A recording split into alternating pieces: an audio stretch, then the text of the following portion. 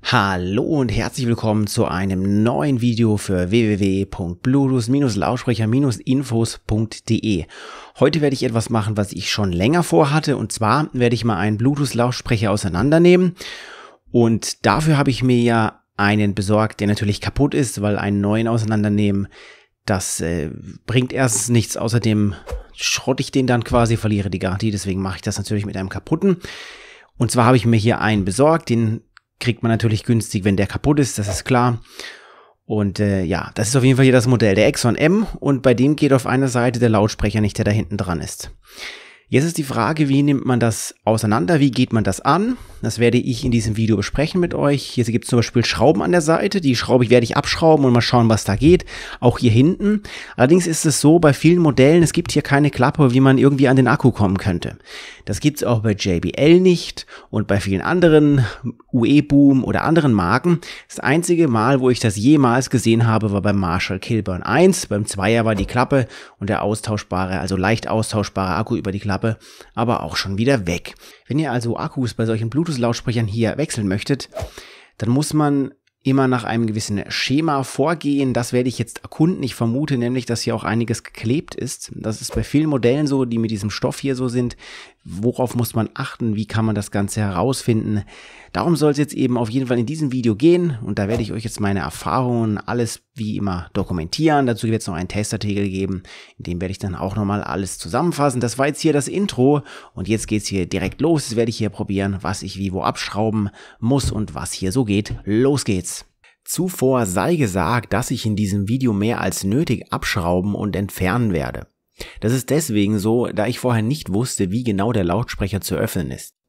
Ich zeige euch so aber auch eine logische Vorgehensweise, die man generell auch bei anderen Modellen dann nutzen kann, nicht nur bei diesem hier. Zuerst entferne ich immer alle sichtbaren Schrauben.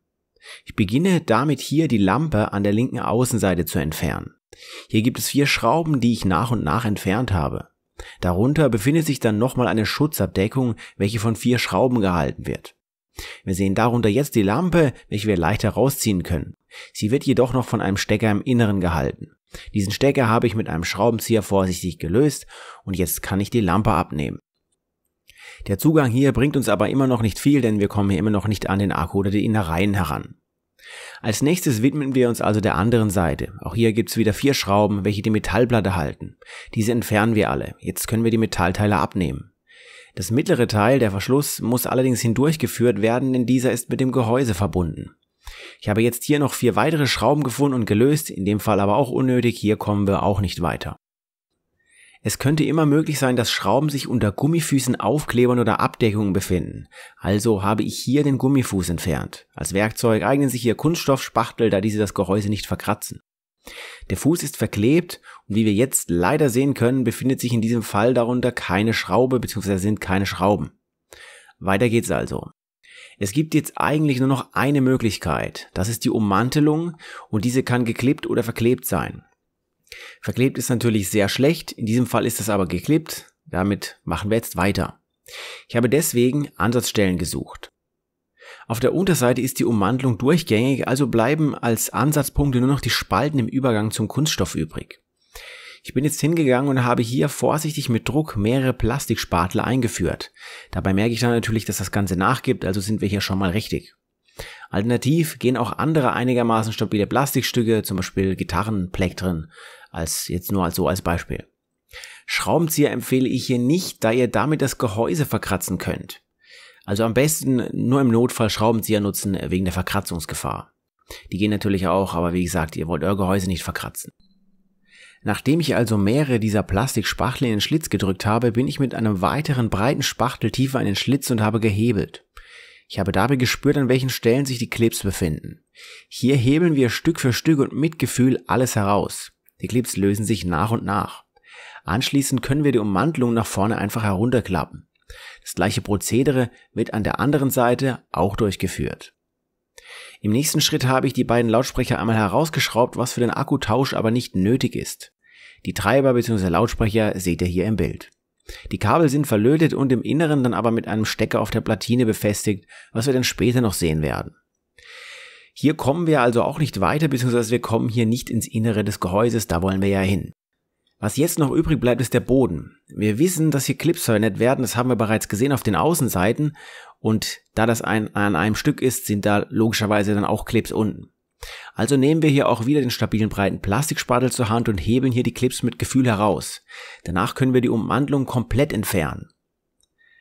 Am Boden sehen wir jetzt neben den Löchern für die Clips auch acht Schraubenlöcher. Diese acht Schrauben entfernen wir nun Stück für Stück. Im Anschluss können wir den Boden abnehmen und darunter sehen wir die Elektrik. Jetzt ist der Akku und andere Elemente problemlos erreichbar. In der Mitte befindet sich der Akku, wir sehen die Platine und auch die Steckverbindung. Wie ich bereits erwähnt hatte, ging ein Lautsprecher nicht, bzw. da kam kein Ton. Der war aber nicht kaputt, sondern der Stecker hatte nur einen Wackelkontakt. Ich habe ihn abgezogen, Kontakte gereinigt und alles läuft wieder tiptop. Jetzt kommen wir aber noch zu einem kurzen Kommentar von mir. Während ich den Lautsprecher eben hier offen habe, werde ich da etwas zu sagen. So, hier seht ihr jetzt die Unterseite und äh, ich habe hier mehr Teile abgeschraubt als nötig sind, aber ich wusste vorher auch noch nicht genau, wie ich das Ganze auseinandernehmen muss. Und das Wichtige ist quasi der Deckel unten. Dazu muss man dieses, äh, das habe ich bereits gezeigt, ich ziehe das mal kurz in den Hintergrund hier, diese Ummantelung quasi ablösen. Dann kann man hier den Deckel abschrauben, den Fußdeckel und dann kommt man hier quasi schon an die Innereien. Das heißt, die Seitenteile muss man nicht abschrauben. Habe ich aber gemacht, äh, ja, ihr habt ja gesehen, wie das geht. Da kommt man eben auch ran, aber wie gesagt, das ist nicht nötig. Hier seht ihr den Akku, den kann ich jetzt hier rausnehmen, wenn ich den wechseln wollte. Und ihr seht auch, dass das Ganze hier mit solchen Stecker, Steckern, so Steckverbindungen ähm, verbunden ist. Das heißt hier, das heißt, es ist nicht verlötet. Das bedeutet, ihr könntet den Akku hier abstecken, wenn ihr dieses Silikon hier entfernt, denn die ganzen Steckverbindungen sind so ein bisschen mit so, das ist so eine Art Silikon. Ich vermute, es ist weißes Silikon. Damit ist das eben befestigt, dass sich die Stecker nicht lösen können. Und dann könnte ich den Akku hier entfernen, ein neues Paket quasi kaufen. In dem Fall sind hier zwei 2500 mAh Akkus verbaut. Und das ist auch vom Hersteller so angegeben. Da könnte ich so ein Pack nehmen, könnte das eben hier entfernen und mir ein weiteres Pack mit so einem Stecker besorgen, könnte ich das dann quasi austauschen. Wenn es der Fall sein sollte, dass ihr kein solches Ersatzpack finden solltet, dann müsst ihr schauen, ihr könnt das Ganze hier entfernen und könnt schauen quasi, wie das Ganze hier verlötet ist. Wenn ihr also kein so Pack finden solltet, dann müsstet ihr das löten. Dann müsst ihr hier dieses Zeug hier entfernen. Das mache ich gerade mal kurz. Da kann man dann reinschauen in den Akku und da gehen eben hier die Kabel rein. Die sind darunter verlötet das heißt, man müsste sich solche Batterien, äh, solche Akkus besorgen und müsste das dann selber nochmal an die Akkus dranlöten. Das wird für den einen oder anderen wieder ein bisschen schwerer. Das heißt, wie gesagt, am besten schaut ihr, ob ihr dann, wenn ihr Akkus tauschen wollt, solche Akku-Packs bekommt. Bei Herstellern wie JBL oder Bose kriegt man die zum Beispiel auf Ebay. Bei anderen muss man dann schauen, dass man dann kompatibles Akku-Pack samt Stecker kaufen kann. Wenn nicht, muss man es löten. Damit müsst ihr eben rechnen. Das erwähne ich deswegen hier, falls ihr eben kein so passendes Pack mit Stecker findet. Ihr seht hier im Inneren auch die ganze Elektrik, also hier ist die Platine mit den Kondensatoren, den ganzen Steckverbindungen und den elektronischen Bauteilen. Wenn so eine Platine kaputt ist, dann müsstet ihr die prüfen, bräuchte da Prüfgeräte für, müsstet alles durchmessen, müsstet auch genau wissen, wie ihr das messen müsst. Also das ist äh, extrem schwer, sage ich jetzt mal, vor allen Dingen ohne Schaltpläne. Selbst wenn ihr Elektriker seid, mittlerweile heutzutage gibt es selten, ich kenne jemand, der arbeitet in diesem Bereich, die messen da quasi kaum noch was durch, sondern die wechseln die Platinen aus. Also die gehen nicht hin, nehmen die Platinen und tun bei einer 5-Euro-Platine da jetzt stundenlang rummessen. Das machen selbst die nicht mehr. Ist heute leider so. Das heißt, die Platinen, wenn ihr Platinen bei Modellen kaputt habt, die nicht so bekannt sind, die kriegt ihr vielleicht auch nicht einzeln zu kaufen. Das muss man schauen, das habe ich selber noch nicht researched.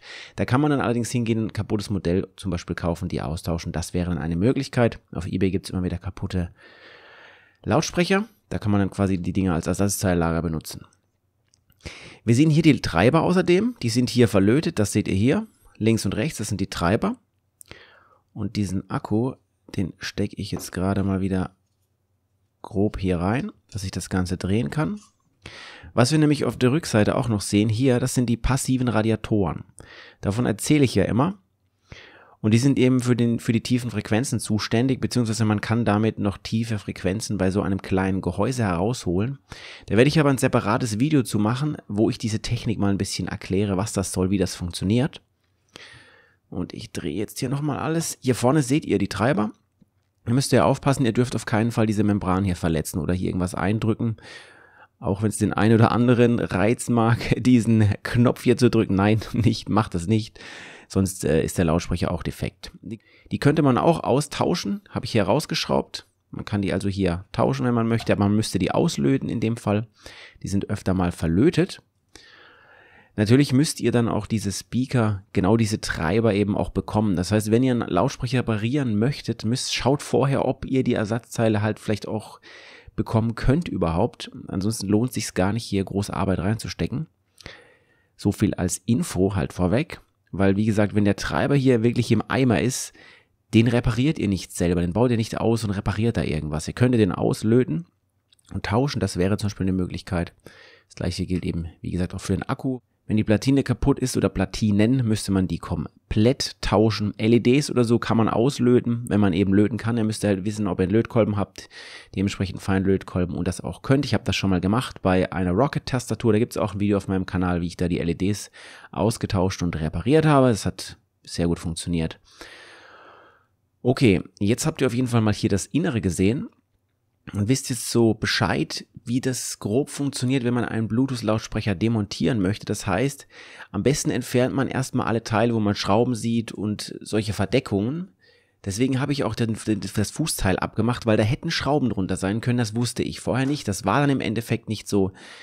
Die Schrauben waren dann quasi außenrum, aber dazu musste ich eben, wie gesagt, erst dieses äh, große Teil, was ihr jetzt hier im Hintergrund seht, was da quasi drumrum gehört hier, also mit diesen Clips, drumherum geklippt war hier um das ganze Gehäuse.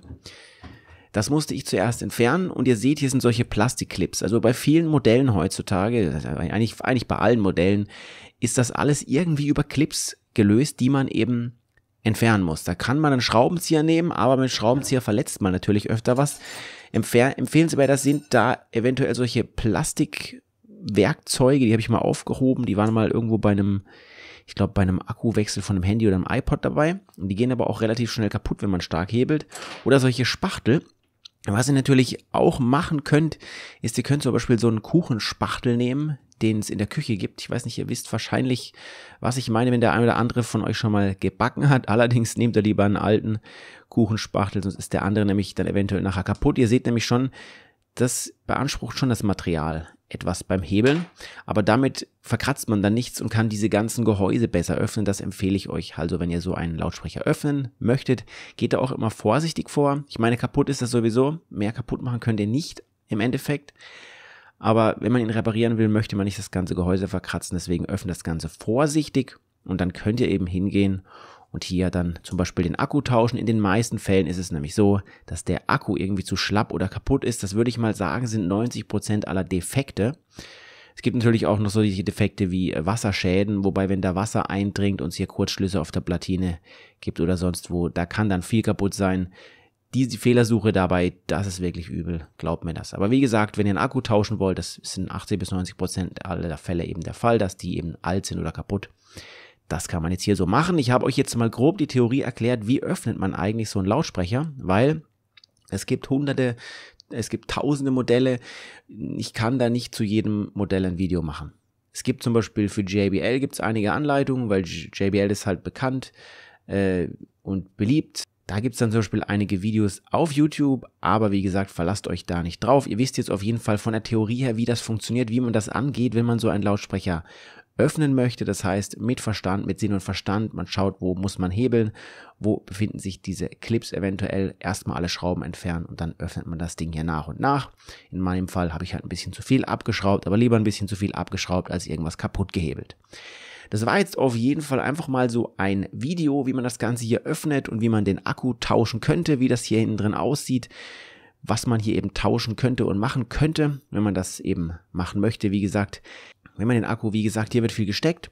Den Akku könnte man hier stecken, wenn man den nachkaufen kann. Ähm, bei vielen Modellen kann es auch, auch sein, dass es verlötet ist, dann müsst ihr unbedingt löten können.